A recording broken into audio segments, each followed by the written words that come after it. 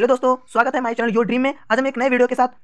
So my dear friends आज हम कुछ बहुविकल्पी बायोलॉजी के क्वेश्चन ले आए हैं। जिसका पहला क्वेश्चन क्या है?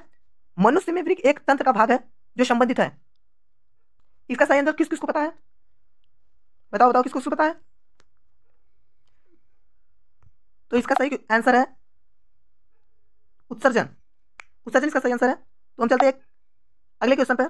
प्रश्न है, पादप में जाइलम उत्तरदायी होता है। पादप में जाइलम उत्तरदायी होता है। इसका बताओ आंसर किसको पता है? तो पादप में जाइलम उत्तरदायी होता है। जल का वहन।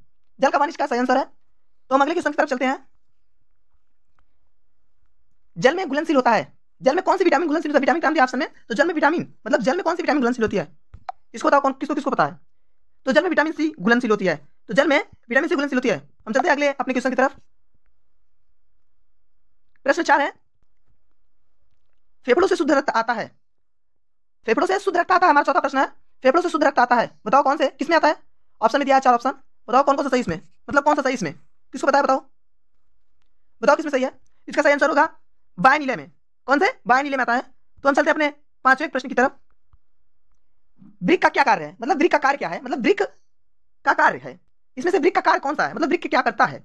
तो ऑप्शन दिया है श्वसन, परिवहन, उत्सर्जन, पाचन। इसमें से कौन सा आंसर सही है? बताओ। तो इसमें से सही आंसर है उत्सर्जन। उत्सर्जन एक ब्रिक का हिस्सा, उत्सर्जन मतलब ब्रिक जो है, उत्सर्जन का कार्य करता है। तो हमारा ये ब्रिक जो है, सही होगा। तो दोस्तों, मैं उम्मीद करता हूँ कि यह वीडियो आपको बहुत अच्छा लगा होगा।